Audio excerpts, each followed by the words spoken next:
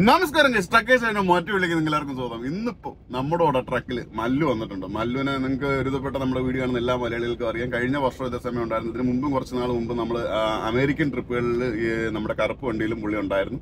ഇതിപ്പം വീട്ടിൽ വന്നിട്ട് നമ്മൾ ചെറിയൊരു ട്രിപ്പ് ഇവിടെ നിന്ന് കൂടി വന്നാൽ നമുക്കൊരു മാക്സിമം ഒരു നാല് മണിക്കൂറത്തെ പരിപാടി ഒന്നും ഉണ്ടാവുള്ളൂ. അപ്പൊ ചെറിയൊരു ട്രിപ്പിൽ എന്റെ അവിടെ കിളിയായിട്ട് വരാമെന്നുള്ള ഉദ്ദേശത്തിലാണ് പുള്ളി വന്നതെങ്കിലും പണി എടുക്കുന്നില്ല. പുള്ളിയുടെ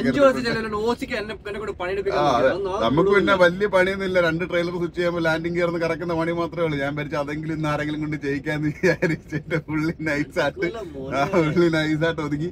എന്തായാലും നമ്മുടെ യാടി വന്ന് യാടി വന്നിട്ട് നമ്മൾ ഇന്ന് വോൾവോ അല്ല നമ്മുടെ ഫൈൽ ലൈൻഡറുമായിട്ടാണ് പോകുന്നത്. കാര്യം ഇന്ന് തിങ്കളാഴ്ച നമുക്ക് വോൾവോയ്ക്ക് ഒരു വണ്ടിക്ക് പണിയുള്ളൂ. അപ്പോൾ കാരണം വോൾവോയിൽ നമുക്ക് അറിയാമല്ലോ നമുക്ക് ഒരു സീറ്റില്ല ഒറ്റ രണ്ട് ഒരു സീറ്റേ ഉള്ളൂ. അപ്പം പുള്ളിക്ക് ഇരിക്കാൻ പറ്റത്തില്ല. അതുകൊണ്ട് ഫ്രൈലൻഡർ ലൈൻഡർ എടുത്ത് ഫ്രൈലൻഡർ ആകുമ്പോൾ രണ്ടുപേർക്ക് പോകാൻ സുഖമായിട്ട്. പിന്നെ മാനുവൽ ഗിയർ ആണ്. അപ്പം ബാക്കിയുള്ള കാര്യങ്ങൾ. എന്തായാലും നമ്മൾ ഇവിടെ നിന്ന് യാടിയിൽ നിന്ന് ഇറങ്ങിയിട്ട് നമുക്ക് പോകേണ്ടത് ആമസോണിൽ പോയി ട്രെയിലർ ബുക്ക് ചെയ്ത് അങ്ങനെ ചെറിയ ചെറിയ ഒന്ന് രണ്ട് പരിപാടികളൊക്കെ. അപ്പോൾ ഉഷാറായിട്ട് നമുക്ക് ട്രക്കേഴ്സ് ലൈഫിലേക്ക് വീണ്ടും സ്വാഗതം.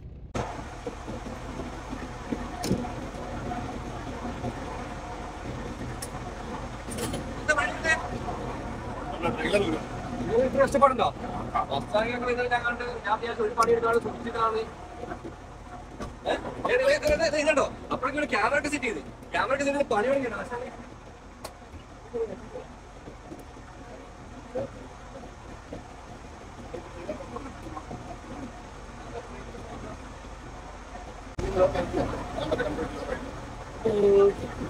പണിയെടുക്കാൻ വന്നിട്ട് നമ്മളെ കൊണ്ട് പണിയെടുപ്പിക്കുകയാണ് അല്ലു. നമ്മോട് പറഞ്ഞ എന്താ കിളിയായിട്ട് പോകാന്ന പക്ഷെ പണിയെടുക്കാൻ പുള്ളിക്ക് ഒട്ടും താല്പര്യമില്ല.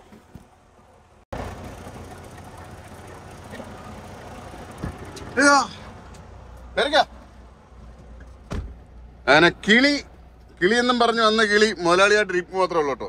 ഡ്രൈവർ വണ്ടി എടുക്കോ? നമ്മൾ ലോഡ് എടുക്കാനായിട്ട് വന്ന് നമ്മുടെ ഫ്ലൈറ്റ് ലൈനിട്ട് വണ്ടിക്ക് എന്തോ ചെറിയൊരു വൈക്ലപ്പി ഉണ്ട് എന്താ സംഭവം തരത്തില്ല വണ്ടി ഇടയ്ക്കിടയ്ക്ക് ഓഫായി പോകുന്നുണ്ട്. അങ്ങനെ ആമസോണിൽ നിന്ന് ട്രെയിലർ എടുത്ത് ഇറങ്ങിയതാണ്. അപ്പോൾ വണ്ടി വീണ്ടും ഓഫായി പോയി. ഇപ്പം ഇതിനിടയ്ക്ക് നമ്മൾ ആ ഒരു മണിക്കൂർ ഓടിയപ്പോൾ തന്നെ കുറച്ച് അധിക ദൂരം ഓഫായി പോകുന്നു ഓഫായി പോകുന്നു. ലൈറ്റ് എല്ലാം ബന്ധാകുന്നു പെട്ടെന്ന് സെക്കൻഡ്സിനുള്ളിൽ വീണ്ടും ചാലു ആവും ഇപ്പം വീണ്ടും കുഴപ്പമില്ല. ഏഹ് ഇല്ല അത്രേ ഉള്ളൂ. കുറവാണ്. അതിൽ പറയുന്നത് ഇതിന്റെ പൊക്ക ആ അത്രേ ഉള്ളു അത്രേ ഉള്ളു. ആ അത് കുഴപ്പമില്ല. രണ്ട് ഏകദേശം കണക്കാ. അത് അപ്പുറത്ത് സെപ്പറേറ്റ് വെച്ച് ലെഗാണ്ട് ഇച്ചിരി അധികം കിടപ്പുണ്ട്. അടി തട്ടൂല. ഡെലിവറി ലൊക്കേഷൻ കണ്ടോ? ഭയങ്കര വെൽക്കമിങ് ആയിരുന്നു. കാണിച്ചു തരാൻ പറ്റില്ല. ബിക്കോസ് ഈ ഫെസിലിറ്റിയിൽ ആദ്യമായിട്ടാണ് ഈ ഒരു ട്രക്കിലോട് വരുന്നത്. അവരുടെ ബ്രാൻഡ് ന്യൂ ബിസിനസ് ആണ്. ഇതൊരു ജസ്റ്റ് സ്റ്റാർട്ട് ചെയ്തിട്ടേ ഉള്ളൂ. അവർ റീസൈക്ലിംഗ് ഫെസിലിറ്റി തുടങ്ങിയതിന്റെ ബ്രാൻഡ് ന്യൂ ബിസിനസ് അവിടെ നമ്മുടെ പുതിയ ഡോക്കിൽ നമ്മളാണ് ഫസ്റ്റ് വന്നതുകൊണ്ട് അവർക്ക് ഒരു ഹസ്ബൻഡും വൈഫും ആണ്. ഒരു ഹസ്ബൻഡും വൈഫും ആണ് ഈ ഒരു ബിസിനസ് റൺ ചെയ്യുന്നത്. അവർക്ക് അതുകൊണ്ട് ഭയങ്കര ഹാപ്പി ആൻഡ് ദ മോറോവർ ഇവിടെ വണ്ടി സ്കെയിലിലോട്ട് കയറുന്നതിന്റെ വീഡിയോസ് ഒക്കെ അവർ എടുക്കുന്നുണ്ട്. അപ്പോൾ ചോദിച്ചപ്പോഴാണ് പറഞ്ഞത് ആദ്യമായിട്ടാണ് ഇവിടെ വണ്ടി വരുന്നത്.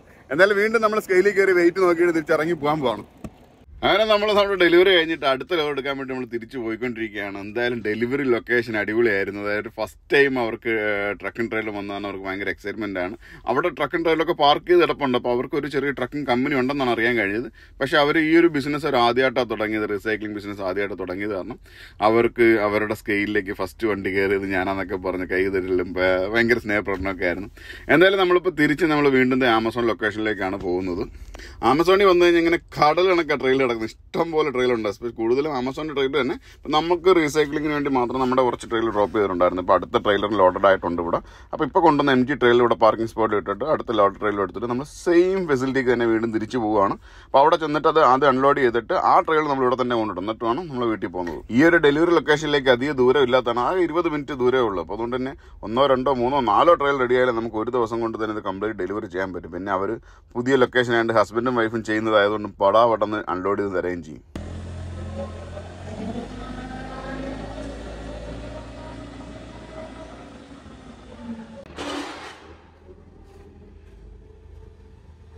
അവർ നമ്മുടെ സംഭവങ്ങളെല്ലാം അൺലോഡ് ചെയ്ത് കഴിഞ്ഞു. അൺലോഡ് ചെയ്ത് രണ്ട് മൂന്ന് സ്കിഡ് തിരിച്ചു അപ്പോൾ ആ സ്കിഡ് തിരിച്ചവർ കയറ്റുവാണ്. രാവിലെ തൊട്ട് പണിയെടുപ്പ് മാത്രമേ നടന്നുള്ളൂ. ഫുഡ് അടിയൊന്നും നടന്നില്ല. എന്റെ. എന്റെ കൂടെ വന്നിട്ട് വണ്ടിക്കകത്തിരുന്ന് മൂത്രം ഒഴിക്കാനും പറ്റാതെ ഫുഡും കഴിക്കാൻ പറ്റാതെ പുള്ളി കുടുങ്ങി. അതാണ് ഞങ്ങൾ എന്തായാലും ഇവിടെ ഓൺ റോട്ടി വന്ന് നിർത്തി. നമ്മൾ വീണ്ടും തൊട്ടടുത്ത് തന്നെ. ഇവിടെ നിന്ന് വീട്ടിലേക്ക് പത്ത് മിനിറ്റ് ആയുള്ളൂ. പിന്നെ വീട്ടിൽ ചെന്ന് വിശന്നിരിക്കണമെന്ന് വെച്ചിട്ട് ഞങ്ങൾ ഓൺ റോട്ടി നിർത്തി എന്ന് വാഷ്റൂമിലൊക്കെ പോയി. ഇവിടെ നിന്ന് എന്തെങ്കിലും ഫുഡ് കിട്ടുമെങ്കിൽ അതൊന്ന് ഫുഡും വാങ്ങിച്ച് കഴിച്ചിട്ട് നമുക്ക് ഉഷാർ ഉഷാറായിട്ട് പോവാം. അതെ കിളി കിളിക്ക് ഇനി പണിയെടുക്കാത്ത കിളിക്ക് നമ്മളൊരു ചായ വാങ്ങിച്ചു കൊടുക്കാൻ പോകും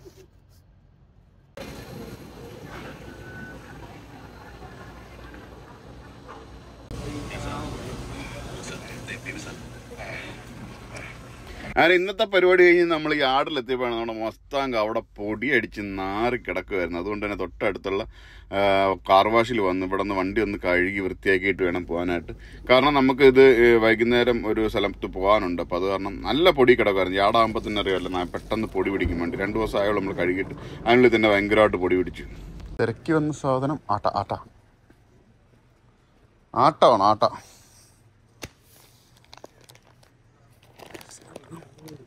അങ്ങനെ ഞങ്ങൾ ട്രിപ്പ് കഴിഞ്ഞ് വീട്ടിലെത്തി. ട്രിപ്പ് കഴിഞ്ഞ് നമ്മൾ വണ്ടി ഒന്ന് വാഷ് ചെയ്യണമായിരുന്നു. വണ്ടി വാഷ് ചെയ്ത് കടയിൽ പോകണമായിരുന്നു അതെല്ലാം കഴിഞ്ഞ് വീട്ടിലെത്തിയപ്പോൾ തന്നെ ചില്ല് നടക്കാൻ പോകാൻ റെഡി ആയിട്ട് നിപ്പുണ്ടായിരുന്നു. എന്നെ കണ്ടോണ്ടപ്പോൾ ഷൂ ഒക്കെ എടുത്തിട്ട് വന്നിട്ട് ഇപ്പം നടക്കാൻ പോകും ഞാൻ ഇരുന്നാണൊക്കെ ഇരിക്കുന്നത് അപ്പം ഞങ്ങൾ ഇവിളെയും കൂട്ടി ഒന്ന് ചെറിയൊരു വാക്ക് ഞാൻ മാത്രമേ ഇറങ്ങിയുള്ളൂ. നമ്മുടെ കൂടെ ഒന്ന് മല്ലു നേരെ വീട്ടിൽ കയറി റെസ്റ്റ് എടുക്കാൻ പോയി. അപ്പോൾ ഞാൻ എല്ലാ ദിവസവും ഇവിളെയും കൊണ്ടൊരു വാക്ക് ഉള്ളതാണ്. അപ്പോൾ ഞാനല്ല ആക്ച്വലി രാജിയാണ് പോകുന്നത് ഇന്ന് മമ്മിക്ക് അത്യാവശ്യം കുക്കിംഗ് ഉള്ളത് കാരണം മമ്മി ഇവിടെ കൊണ്ട് പോയില്ലെന്ന് പറഞ്ഞ് കൊച്ചു വന്നപ്പോൾ വിഷമമായിരുന്നു. എന്താ എന്താ അങ്ങനെ ഞങ്ങൾ രണ്ടുപേരുടെ ചെറുതായിട്ടൊരു വാക്കിന് ഇറങ്ങിയൊക്കെയാണ് അല്ലേ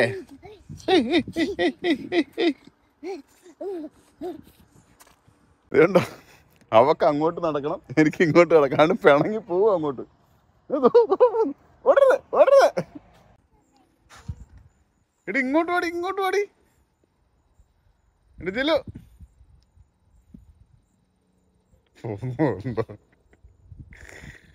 അവക്ക് തിരിച്ച് വീട്ടിലോട്ടുള്ള വഴി നടക്കാൻ പോയി കഴിഞ്ഞാൽ ഭയങ്കര പാടാ. ആ വാ. ആ വാ അത് തന്നെ വാ. നമുക്ക് വീട്ടിൽ പോവാം. എഴുന്നേറ്റ് വാ. It's okay. അപ്പ് അപ്പ്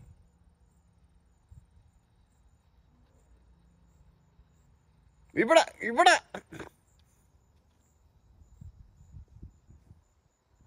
വീണ് പഠിക്കും.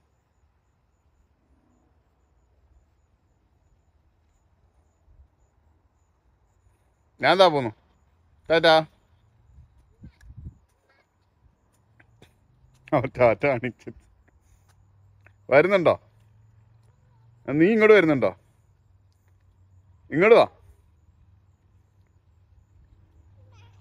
ആ പതുക്കെ വന്നായി പതുക്കെ വന്നായി. ഇങ്ങോട്ട് വാ വീട്ടിൽ പോണ്ടേ? ഏ? വീട്ടിൽ പോണ്ടേ നമുക്ക്? ആ ബാ. തിരിയരുത് തിരിഞ്ഞു പോരുത്. അവിടെ കൈപിടി മതിയോ നടന്ന? എടുക്കട്ടെ അപ്പം. നമ്മളുടെയൊക്കെ നേരെ വെച്ചോ. കണ്ണാടി ഇല്ലാതെ ഞങ്ങളൊരു കളിയില്ല കേട്ടോ.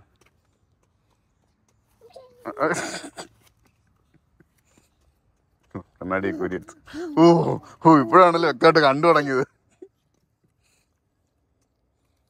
ദിവസം രാവിലെ നമ്മൾ വീണ്ടും അടുത്ത ട്രിപ്പ് പോകാൻ എത്തി. എത്തിയപ്പോൾ തന്നെ നമ്മുടെ മറ്റേ വണ്ടി ഓൾറെഡി ഇവിടെ നിന്ന് പോയി. എന്റെ ഇവിടെ ഇവിടെ കിടന്ന് നമ്മുടെ വണ്ടി പോയി. ആ വണ്ടി ഇവിടെ നമ്മുടെ സുഹൃത്ത് അവന്റെ വണ്ടി. അവന്റെ കാറാണ് കിടക്കുന്ന എഫ് വൺ ഫിഫ്റ്റി ആ ഈ എഫ് വൺ ഫിഫ്റ്റിയിലായിരുന്നു നമ്മൾ പണ്ട് ന്യൂയോർക്കിൽ നാട്ടിൽ പോകാൻ വേണ്ടി ന്യൂയോർക്കിൽ പോയ വണ്ടി. എന്തായാലും ഇപ്പോൾ രാവിലെ വന്നു കഴിഞ്ഞപ്പോൾ നമ്മൾ ഇന്നലെ കൊണ്ടുവന്ന് ഇട്ട ട്രക്ക് ഇതുണ്ടോ ട്രെൻഡ് ചെറിയ ഗ്യാപ്പൊക്കെ ഉണ്ട്. ഗ്യാപ്പൊക്കെ ഉള്ള കാരണം എന്ന് പറഞ്ഞാൽ നമ്മുടെ ട്രക്കിന്റെ എയർ കംപ്ലീറ്റ് ലീക്കായി കിടക്കുകയാണ്. ഇതിപ്പം വണ്ടി ഒന്ന് സ്റ്റാർട്ടായി മിനിറ്റിനുള്ളിൽ തന്നെ ഫുൾ എയർ ആകും. എന്തുകൊണ്ടാണ് ട്രെയിലർ താഴത്തെന്ന് വെച്ചാൽ ട്രെയിലർ നമ്മൾ ലാൻഡിങ് ലാൻഡ് ചെയ്തേക്കാണ്. അതുകൊണ്ടാണ്. അപ്പോൾ നമുക്ക് ഇന്നത്തെ ട്രിപ്പും അങ്ങനെ സ്റ്റാർട്ടാക്കാം അങ്ങനെ ഇന്നലെ നമ്മുടെ ട്രിപ്പിൽ ഞാൻ പറഞ്ഞായിരുന്നു നമ്മുടെ വണ്ടി ഉണ്ടോ റണ്ണിങ്ങിൽ നിന്ന് പോകുമായിരുന്നു എന്ന് പറഞ്ഞാൽ വണ്ടി ഓടിക്കൊണ്ടിരിക്കുമ്പോൾ തന്നെ പെട്ടെന്ന് നമ്മുടെ പവർ എല്ലാം ഷട്ട് ഓഫ് ആയിട്ടും വിത്തിൻ സെക്കൻഡ്സിനുള്ള പവർ വരും. പിന്നെ നമ്മൾ വണ്ടി സ്റ്റാർട്ടായി കഴിഞ്ഞാൽ ഓടിപ്പോകാൻ പറ്റും. പക്ഷേ ഇത് വൺസ് അത് ഓഫ് ആകുന്ന ടൈമിൽ നമ്മുടെ സ്റ്റിയറിംഗും ടൈറ്റ് ആവും ബ്രേക്കും ജാം ആവും. ഒരു ഭയങ്കര ടെൻഷൻ പിടിച്ച സെറ്റപ്പ് ആയിരുന്നു. എന്തായാലും ആ ഒരു ട്രിപ്പ് നമ്മൾ കംപ്ലീറ്റ് ചെയ്ത്. കുറച്ച് നേരം കഴിഞ്ഞപ്പോൾ പിന്നെ മാറി പിന്നെ പ്രശ്നമൊന്നും വന്നില്ല. ഞാൻ എന്തായാലും വർഷാപ്പിയെ കൊണ്ട് ചെക്ക് ചെയ്തപ്പോൾ ഇതിന്റെ P N D B switch പോയെന്നാണ് പറഞ്ഞത്. ഇതാണ് നമ്മുടെ P N D B switch ഈ സാധനം പോയി. അതുകൊണ്ടാണ് നമുക്ക് ഓഫായി ഓഫായി പോകുന്നത്. എന്തായാലും P N D B switch മാറ്റി ഇപ്പം വണ്ടിക്ക് വേറെ കുഴപ്പങ്ങളൊന്നുമില്ല. പിന്നെ നമ്മുടെ കുറച്ച് എഞ്ചിനകത്ത് അവിടെ ഒന്ന് രണ്ട് ലീക്കുകളുണ്ട് അപ്പോൾ അത് ഇപ്പം നമ്മൾ ക്ലീൻ ചെയ്തിട്ടേക്കാണ് ലീക്ക് എവിടെ നിന്നാണ് എക്സാക്ട്ലി കണ്ടുപിടിക്കാൻ വേണ്ടിയിട്ട്. അപ്പോൾ അതിനുശേഷം വീണ്ടും നമ്മളിത് കൊണ്ടുപോയിട്ട് അതിന്റെ ലീക്ക് ആ ഒരു സാധനം മാറ്റേണ്ടി വരും. എന്തായാലും അതിന്റെ ഇഷ്യൂ ആയിട്ട് നമ്മൾ വണ്ടി വർഷാപ്പിൽ കയറിയപ്പോൾ തന്നെ നമ്മൾ അതിന്റെ ഓയിൽ ചേഞ്ചൊക്കെ നടത്തി. നോർമലി നമുക്ക് ഒരു കുറച്ച് കിലോമീറ്റർ ഓടാനുണ്ടായിരുന്നു ഓയിൽ ചേഞ്ചും ഓയിൽ ചേഞ്ച് ചെയ്തു. നമ്മൾ നമ്മുടെ വാട്ടർ സെപ്പറേറ്റർ മാറി അതിൽ നമ്മുടെ എയർ ഫിൽറ്റർ മാറി. അതെല്ലാം പുതിയതാണ് പിന്നെ അതിനകത്ത് തന്നെ ക്യാബിൻ ഫിൽറ്ററും എല്ലാം മാറിയിട്ടുണ്ട്. അപ്പോൾ ഈ ഒരാഴ്ചയിൽ നമ്മൾ നല്ല രീതിയിൽ ഇവനെ ഒന്ന് കയറ്റി ഇറക്കിയാണ് വെളിയിലോട്ട് വന്നേക്കുന്നത്. ഇനി ഇത് കുറച്ച് നാളത്തേന് ഒരു പ്രശ്നമില്ലാതെ ഓടണം. ഞാൻ വണ്ടിയുടെ കാര്യങ്ങളൊക്കെ കാണിക്കുമ്പോൾ പെട്ടെന്ന് അങ്ങ് നിർത്തുന്ന ചിലപ്പോൾ എനിക്ക് നെഗറ്റീവ് അടിക്കും. കാര്യം എന്നോട് തന്നെ നമ്മളെ ചില സുഹൃത്തുക്കൾ പറഞ്ഞിട്ടുണ്ട് നീ വണ്ടിയുടെ കാര്യത്തെക്കുറിച്ച് കാണിക്കുന്ന ദിവസം വണ്ടിക്ക് എന്തെങ്കിലും പണി വരും എന്നൊക്കെ. അത് സത്യമാണോ? ഞാൻ അത്തരം കാര്യങ്ങൾ വിശ്വസിക്കുന്നില്ല. അതുകൊണ്ട് തന്നെയാണ് നമ്മൾ തുടർന്നും ആ വണ്ടിയെക്കുറിച്ചും വണ്ടിയുടെ കാര്യങ്ങളെക്കുറിച്ചും ഒക്കെ നമ്മളിങ്ങനെ കാണിച്ചുകൊണ്ടിരിക്കുന്നത്. പിന്നെ പലരും ചോദിക്കുന്ന ഒരു കാര്യമാണ് ഓണർ ഓപ്പറേറ്റർ എന്നൊരു ലൈഫ് എങ്ങനെയുണ്ട്? എങ്ങനെയാണ് സ്വന്തമായിട്ട് വണ്ടിയൊക്കെ ഉള്ളപ്പത്തിന് അടിപൊളിയാണ് സൂപ്പറാണ് അടിപൊളിയാണ്. ഞാൻ ഏറ്റവും കൂടുതൽ അടിപൊളിയായിട്ട് സന്തോഷിച്ച് നടന്നിരുന്ന സമയം എന്ന് പറഞ്ഞാൽ ഞാൻ വാസ് ഇൻ ഡ്രൈവർ ഞാൻ ഡ്രൈവറായിട്ട് മാത്രം വർക്ക് ചെയ്യുന്ന സമയത്ത് അടിപൊളിയായിരുന്നു ഒരു കുഴപ്പമില്ലായിരുന്നു. വണ്ടി വാങ്ങിച്ചപ്പോൾ തൊട്ട് നമുക്ക് ഒരുപാട് പ്രശ്നങ്ങളുണ്ട് ബട്ട് അതനുസരിച്ചും ചെറിയൊരു ബെനിഫിറ്റ് ഉണ്ടോന്ന് വെച്ചാൽ ഉണ്ട് നമുക്ക് പക്ഷേ അൺഎക്സ്പെക്റ്റഡ് ആയിട്ട് വരുന്ന ചില മെയിന്റനൻസ് നമ്മളെ അങ്ങ് തളർത്തി കളയും. പ്രത്യേകിച്ച് ഇപ്പോഴത്തെ മാർക്കറ്റിൽ നിലവിലത്തെ സാഹചര്യം ഭയങ്കര ടഫാണ് കുറച്ച് നാൾ മുമ്പൊന്നും വലിയ കുഴപ്പമൊന്നുമില്ലായിരുന്നു. നമുക്ക് വണ്ടി പണി ഉണ്ടെങ്കിൽ അത് മെയിന്റെയിൻ ചെയ്ത് പോകാൻ പറ്റുന്ന ഒരു ഇൻകം കിട്ടുമായിരുന്നു. പക്ഷേ ഇപ്പം ആ ഒരു ലെവലിൽ ഇൻകം കുറഞ്ഞു. പിന്നെ അതനുസരിച്ച് മെയിന്റെനൻസ് കുറയുന്നില്ല. കണ്ടിന്യൂ വണ്ടി പഴയതാകുന്നതും തോറും മെയിന്റെനൻസ് കൂടിക്കൊണ്ടിരിക്കും. അപ്പോൾ ഓണർ ഓപ്പറേറ്റർ ആകുന്നവർ ഇതിനെക്കുറിച്ചൊക്കെ ഒന്നുകൂടെ ഒന്ന് സ്റ്റഡി ചെയ്യുക. കുറച്ചുകൂടെ നമ്മൾ സ്റ്റഡി ചെയ്യുക. റൈറ്റ് നൗ ഇപ്പോഴത്തെ മാർക്കറ്റ് അതൊരു നല്ല മാർക്കറ്റല്ല നല്ലൊരു വെൽക്കമിങ് അല്ല. അതുകൊണ്ട് തന്നെ ടൈം എടുത്ത് ചിന്തിച്ച് സമയം എടുത്തൊക്കെ ശേഷം വണ്ടി വാങ്ങിക്കാൻ പറ്റിയ ടൈമാണ് എസ്പെ എന്ന് പറഞ്ഞാൽ വണ്ടിക്കൊക്കെ നല്ല വിലക്കുറവുണ്ട്. യൂസ്ഡ് വണ്ടിയൊക്കെ വാങ്ങിക്കാണെങ്കിൽ നല്ല വിലക്കുറവുണ്ട്. പക്ഷെ എന്നും പറഞ്ഞ് വണ്ടി വാങ്ങിച്ച് വീട്ടിട്ട് കാര്യമില്ല. വണ്ടി വണ്ടി വാങ്ങിച്ചു കഴിഞ്ഞാൽ പിറ്റേ മാസം മുതൽ വണ്ടിയുടെ അടവും കാര്യങ്ങളൊക്കെ കൊടുത്തുകൊണ്ടിരിക്കണം നമുക്ക് പണിയില്ലെന്നുണ്ടെങ്കിൽ വണ്ടിയുടെ അടവും ഒന്നും മുടങ്ങാതെ പോയിക്കൊണ്ടിരിക്കുകയും വേണം. ഇനി ഇൻഷുറൻസ് നമ്മൾ സ്വന്തമായിട്ട് എടുക്കുകയാണെന്നുണ്ടെങ്കിൽ ഇൻഷുറൻസും മന്ത്ലി അടച്ചുകൊണ്ടിരിക്കും ഓണർ ഓപ്പറേറ്ററും ഒരു ലീസ് ഓപ്പറേറ്ററും തമ്മിൽ രണ്ട് ഡിഫറൻസ് ഉണ്ട്. നമ്മളിവിടെ എല്ലാവരും ഓണർ ഓപ്പറേറ്റർ എന്നാണ് പറയുന്നത്. അപ്പം ഞാനൊരു ഓണർ ഓപ്പറേറ്റർ എന്ന് അറിയപ്പെടാൻ താല്പര്യമുള്ളൂ.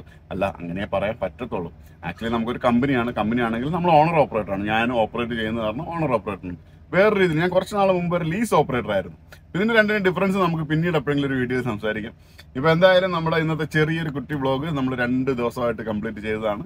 അപ്പം തുടർന്ന് നമ്മൾ ട്രക്കേഴ്സ് ലൈഫിന്റെ വീഡിയോകളായിട്ട് വീണ്ടും വീണ്ടും വരുന്നതായിരിക്കും. അപ്പൊ keep watching truckers life Yeah.